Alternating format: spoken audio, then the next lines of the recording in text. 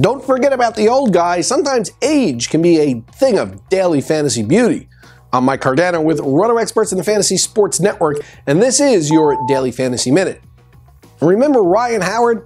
He used to be a perennial all star until injuries, age, and a horrid Phillies lineup all got in his way. He may have fallen off your fantasy radar, but he hasn't gone away.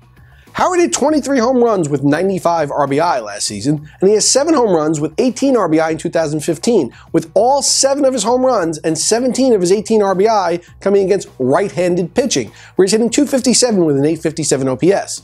Now, the Phillies, yes, that's right, the Phillies have won five in a row, and Ryan has been stroking it in May, hitting 314 with a 963 OPS. And today, the big lefty faces Rockies right handed starter Jordan Lyles at Coors Field. Now, he's priced right on a day with only seven major league games, and he's got the platoon advantage while getting to take a couple of big swats at Coors Field.